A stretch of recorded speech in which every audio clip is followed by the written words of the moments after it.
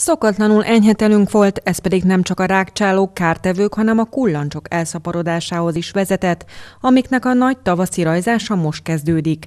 Kapiller Zoltán állatorvos a Magyar Kullanszövetség elnöke azt mondja, lényegesen több a kullancs Magyarországon, mint 10-15 éve, és már nem csak erdőkben, mezőn kell számítani az állatokra, hanem kiskertekben, parkokban is. A szakember azt mondja, túra vagy épp kertészkedés előtt érdemes lekezelni magunkat és állatainkat kullancsriasztó készítménnyel. Továbbá vadetetőket, vaditatókat kerülni kell, mert ezeken a területeken fokozott a kullancsveszély. Továbbá a kintartózkodás során egy-másfél óránként át kell vizsgálni magunkat és állatunkat is, hogy van-e kullancs csípésünk.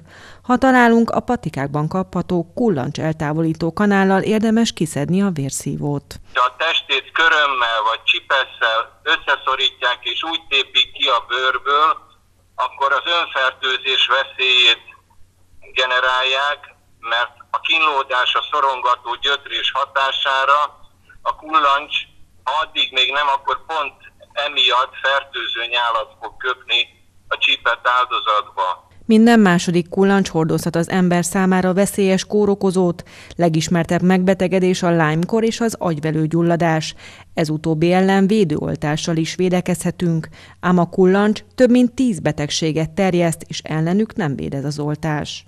Ugyanez az igazság a kutyákra nézve is, ott nem a kullancsenkefalitis okoz óriási problémát, hanem a Lyme-kor. A kutyák esetében van Lyme-kór ellen védőoltás, azt tanácsos a négylábú szeretüknek beadatni.